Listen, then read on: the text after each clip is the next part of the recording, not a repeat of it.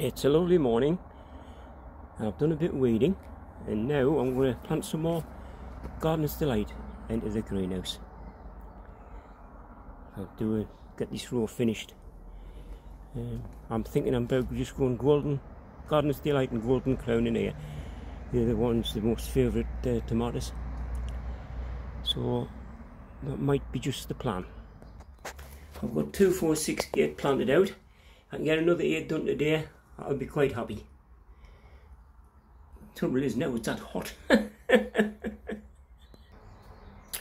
That's the pots in place and the grow bags moved into where I'm going to leave them. So there's 2, 4, 6, 8, 10, 12, 12 in a row. So that's 24, about 26 tomatoes in here. Right now I've just didn't see how far they have grown actually.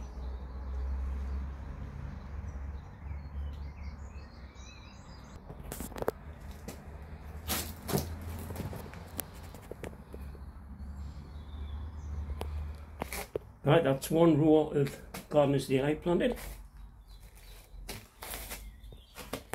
I've put different sizes in